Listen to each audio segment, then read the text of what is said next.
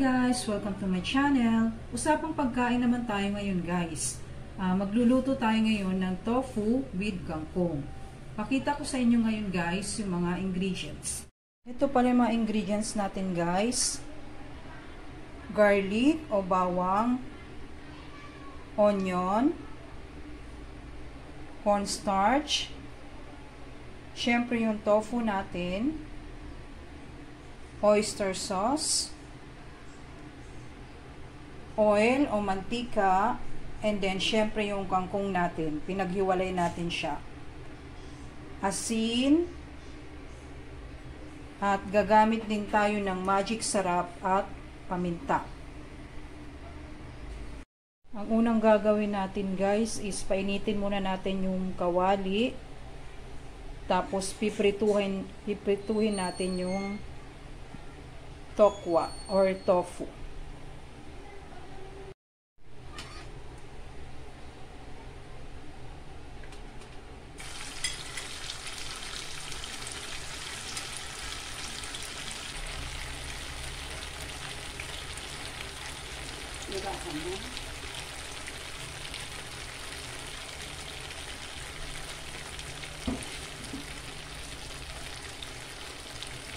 Iprituhin natin guys yung tofu hanggang sa maging brown siya.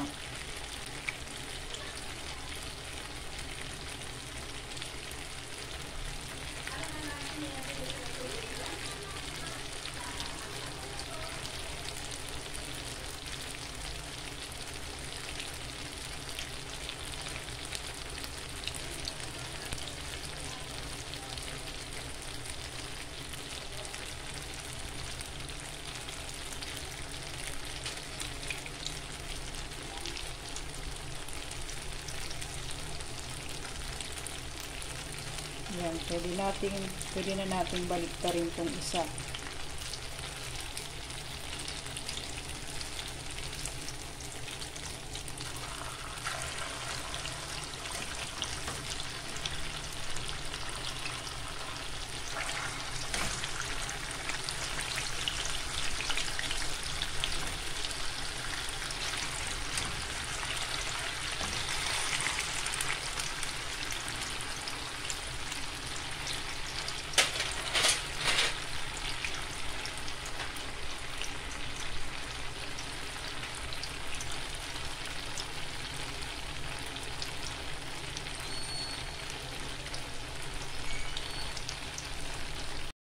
Ayan, brown na yung tofu natin. Malapit na siyang maluto guys.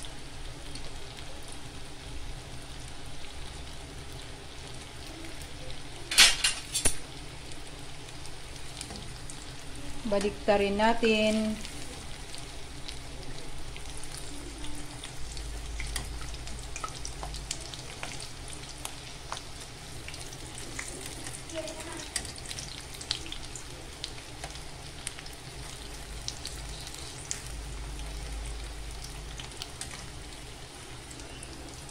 Kasi kailangang luto siya para hindi siya madurog pagka hiniwa natin.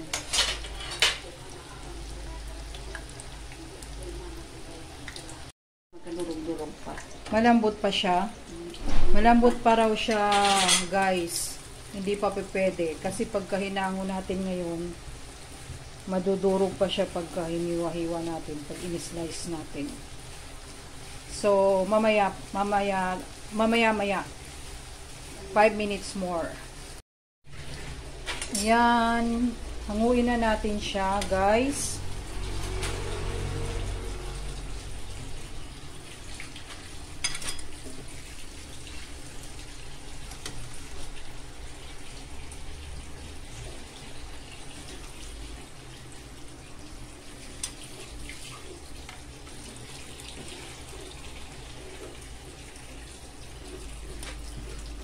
Tapos, iset aside muna natin siya kasi kailangan natin siyang palamigin bago natin siya hiwa-hiwain. Una natin igisa guys is yung bawang.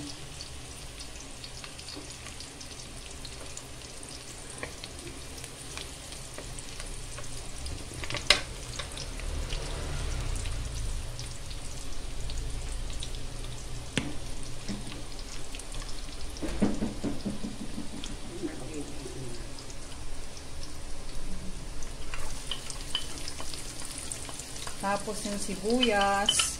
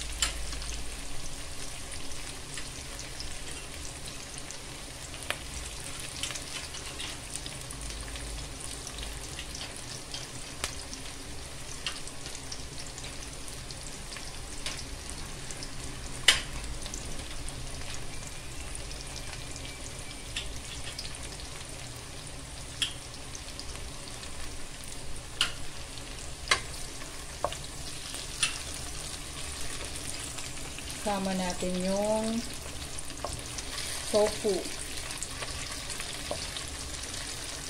Bilisan natin. Yan.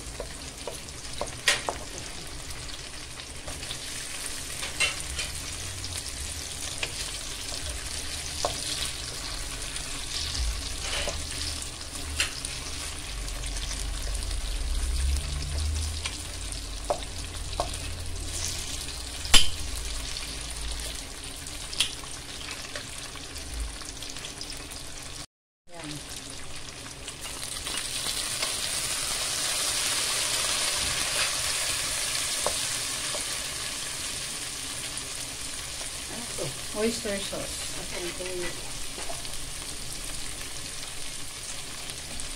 Lagyan ng, natin ng konting toyo or soy sauce. Konti lang talaga dahil walang laman. And then, oyster sauce.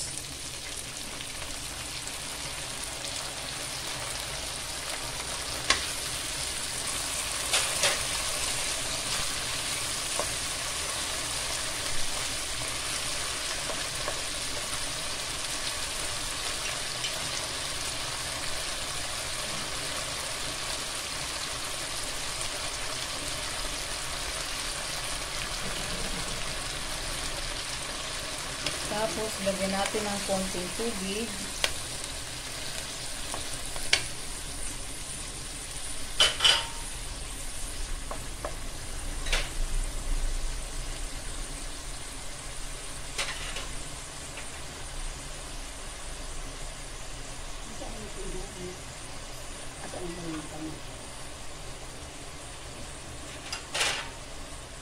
Powder kinuha mo.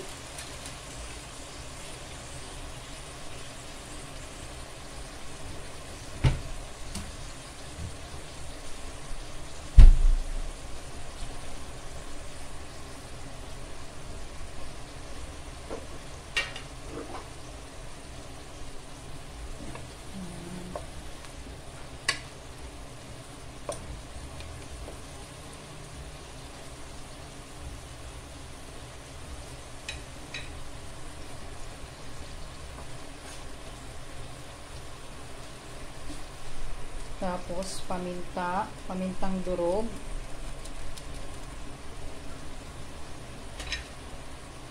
Halu-haluin natin.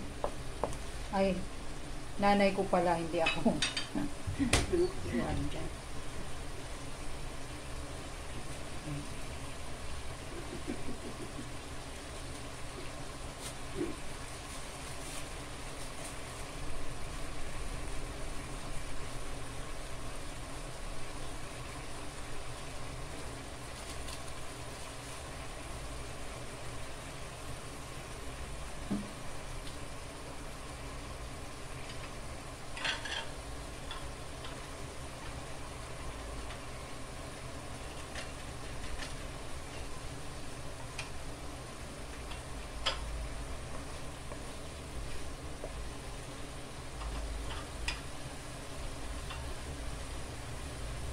Tapos, lagay natin yung cornstarch na hinalo na sa tubig para lumapot siya ng konti.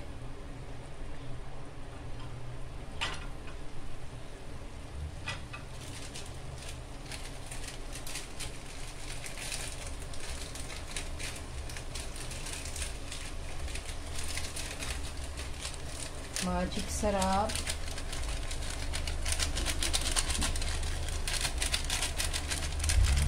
para lumasa.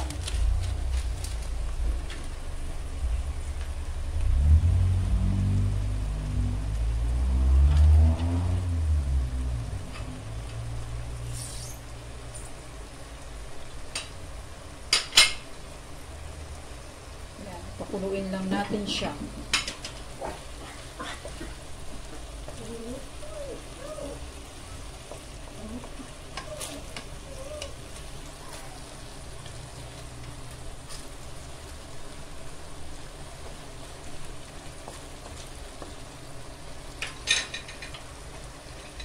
Saka na natin ilalagay yung tangkay ng kangkong. Dahon. Tangkay ay dahon pala. Sorry guys. Dahon pala ng kangkong. Ngayon mukha siyang marami pero pagka naluto na siya, kukunti na lang yan.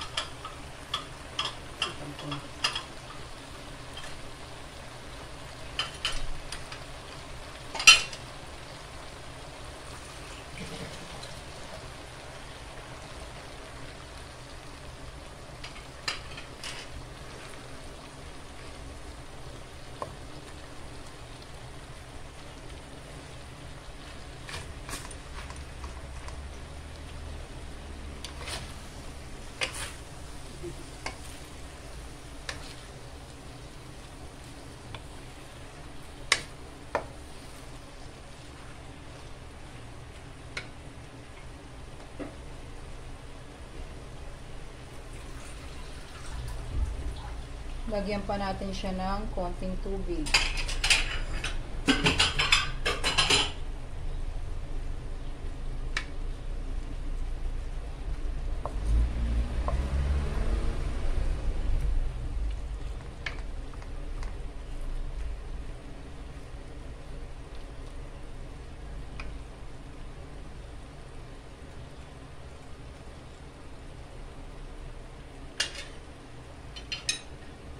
Asin.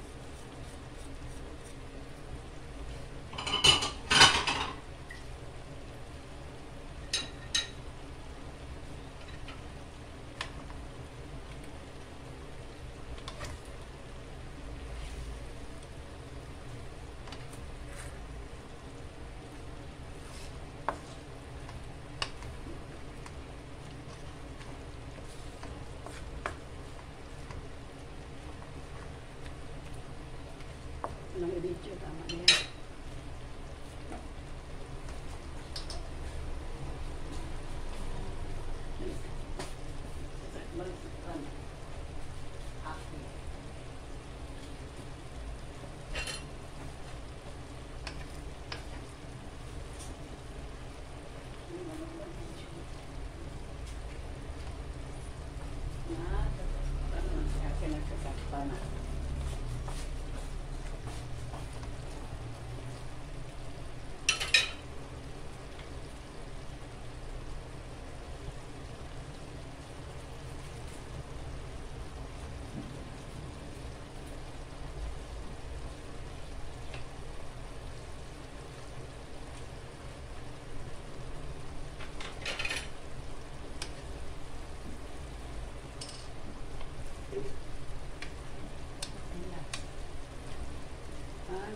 pag-asa, walang pag-asa, walang pag-asa.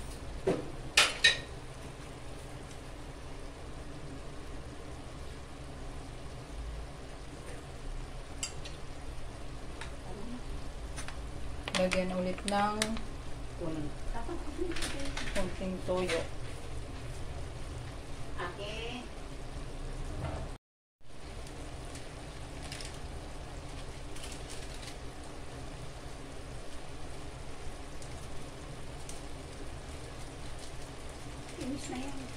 Yan, luto na guys ang ating ah, tofu with kangkong. Patayin na natin yung kalan natin.